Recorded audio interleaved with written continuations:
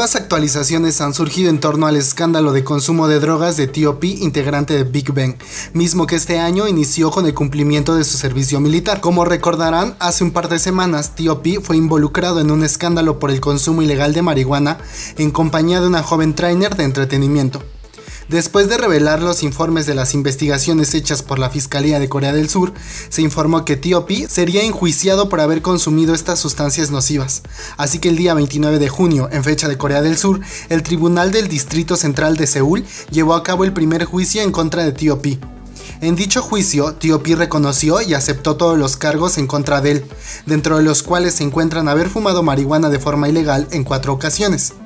En este mismo juicio, la fiscalía informó que contrario a lo que Tío P dijo en su primera declaración, él sí estaba consciente de que lo que fumaba se trataba de marihuana, por lo cual un cargo más por mentir en la justicia fue añadido.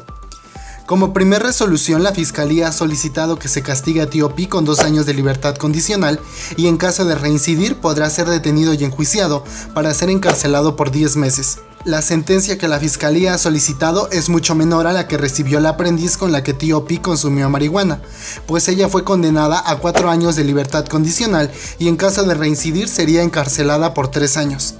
Esta condena fue dada debido a que después de haber sido denunciada y notificada de su delito, ella volvió a consumir marihuana. El argumento que utilizó la defensa de Tío Pi fue que debido a la situación psicológica inestable en la que se encontraba, él quedó con la aprendiz para beber algo y debido a que se emborrachó, perdió el control de sí y consumió marihuana. Por eso, él admitió los cargos y declaró que se sentía muy apenado por tal hecho. En esta misma declaración hecha por la defensa de Tío Pi durante el juicio, de forma indirecta se reveló que Tío mantenía una relación sentimental con la aprendiz involucrada en el escándalo, ya que los abogados del idol informaron a la fiscalía que una vez que Tío Pi rompiera con la aprendiz, él dejó de fumar. Wedgie, agencia de Tío Pi, no dio más información sobre el tema y dijo que debido a la información que dio a conocer la fiscalía, es difícil conocer más detalles. Asimismo, el idol se disculpó con sus fans, familia y la sociedad coreana por haber causado problemas y preocuparlos.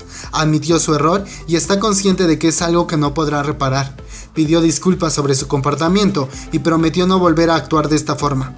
Recordemos que tras hacerse público el tema, Tío Pi entró en un estado de depresión que lo llevó al hospital, donde recibió ayuda médica debido a que su salud mental se perturbó y colapsó. Y pues bueno chingus, hasta ahorita esa es la información y confiable que ha salido acerca del juicio que tuvo hace algunas horas allá en Corea del Sur, Tío Pi. Esta es información que saqué de una fuente confiable. Aquí abajo en la caja de descripción les voy a dejar los links para que lean todo el artículo y toda la información. Y es, esto es más como un resumen y esperemos a ver qué otra información sale sobre este escándalo. Recuerden que si quieren seguir viendo más noticias sobre K-pop, se pueden suscribir. Acá abajo hay un botoncito rojo que dice suscribirse. Al lado está una campanita, le pican para activar las notificaciones y así YouTube les va a avisar cada que yo suba un nuevo video.